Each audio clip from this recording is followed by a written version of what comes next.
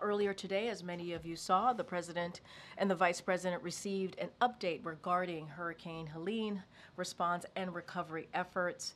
Under their leadership, FEMA has provided $344 million in direct assistance to survivors, along with an additional $180 million to ensure our federal partners can carry out their critical recovery work. More than 8,000 federal personnel are deployed, including FEMA disaster survivor assistant teams that are in the neighborhood in, the, in neighborhoods across the affected states, helping survivors apply for assistance.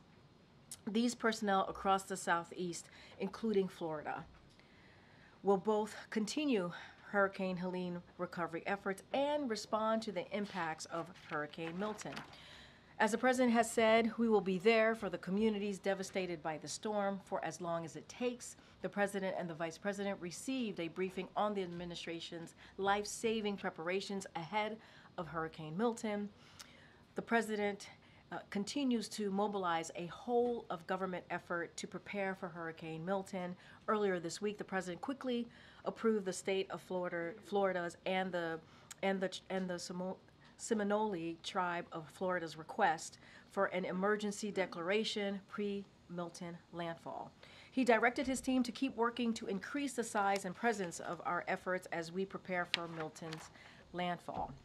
The president spoke directly to Governor DeSantis, Tampa Mayor Castor, Clearwater Mayor Rector, and Pinellas County Chairwoman Peters to make sure we are meeting their needs and gave them his personal number so they can call him directly. As the president's at the president's direction, the administration has been in touch with more than 60 local officials in cities and counties along the likely path of impact to ensure needs are met in advance of the storm. The president gathered his cabinet representing 16 agencies and departments to ensure every corner of the U.S. government is assisting with Helene recovery and preparations for Milton. And at the president's direction, FEMA administration Administrator Criswell will travel to Florida tonight to join the, pers- the personnel on the ground and ensure every Floridian gets the help that they need. FEMA is pre-staging a full slate of response capabilities in Florida and the region, including eight urban search and rescue teams, three U.S. Coast Guard swift water rescue teams, 15.6 million meals, 13.9 million liters of water already pre positioned, an additional 20 million meals, and 40 million liters of water ready to deploy as needed. More than 1,000 staff already in the region. And as the president and the vice president have said, any attempts to price gouge Americans whether at the gas pumps, airport, or hotel counter during this storm are unacceptable. The Justice Department, FTC, and Consumer Financial Protection Bureau put out a statement warning consumers about those looking to take advantage of natural disasters.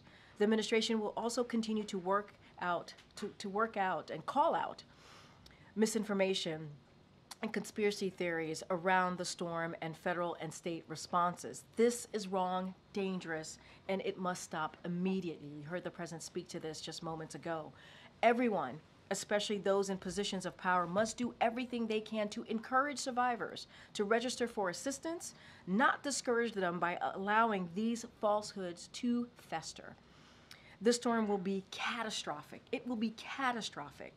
We urge everyone to listen to local officials, and if you are told to evacuate, do so. Please do so immediately. If you can't evacuate or need a safe place to shelter, text shelter and your zip code to 43362 to get a list of open shelters near you.